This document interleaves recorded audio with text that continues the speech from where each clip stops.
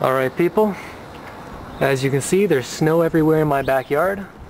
The weather is currently negative 7 and this means it's perfect weather to wear my new winter jacket. And I'm going to take this opportunity to give a product review on this jacket because it is just so goddamn awesome. And most of you will never have one, so I kind of want to show it off. So here we go. Alright guys, so here's my jacket. As you can see, it's like pretty padded and stuff like that. If you look in the little booklet they gave you, it's got some crazy ass layers of material. I don't even know what page it is. Yeah, see? It's got like all that stuff. I don't feel like reading it because basically it just means it's warm. So, it's got real coyote on it. That's what that stuff is right there. It's nice. I like the color. Some people have like ugly reds and shit like that. Mine's nice and gray. I think it goes with the nice sand color of my jacket. It's got a utility pocket. It's pretty sick. I keep my Metro Pass in there. You know, the best part about owning a cat is that if the fur ever like goes shitty on you, you can always just kill this creature and like attach her to the hood. So that's another benefit of having a cat on a random note. And uh, yeah, things just really warm. I'm just gonna wear a t-shirt all winter. I don't even need a sweater or anything like that. Thing's pretty sick. And it's extremely lightweight too. Like, crap, it's twice as thick as my other winter jacket, but it's half the weight. That's the crazy thing about this. And you don't get overheated when you're in class. I just sit with this thing in my lecture halls for like three hours, just unzip it, and you're good to go. You know, it gets a bit hot sometimes if I got the heat cranked up, but other than that, it's pretty sweet.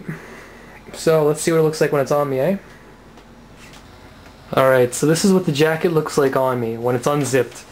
It's, uh, doesn't look too big surprisingly it's nice and puffy, but like, I don't know, just it's not like one of those gangster jackets that just like flares out.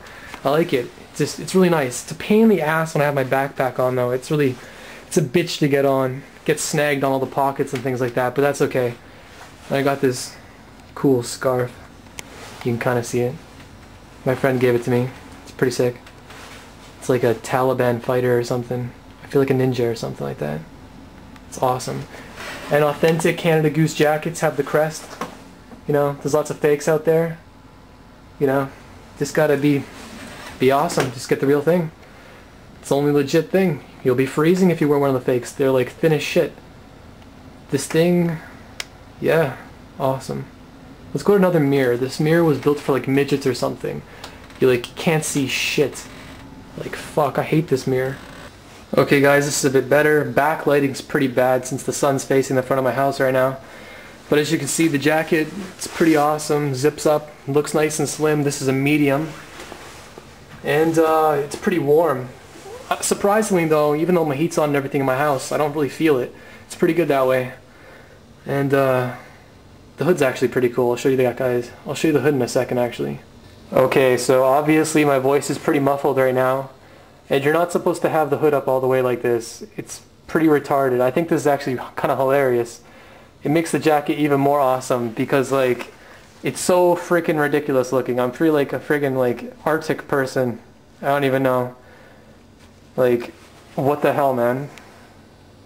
Anyways, that's it for the jacket. And I don't know, if you can afford one of these pups, get one. Go to CanadaGoose.com. They're pretty sweet.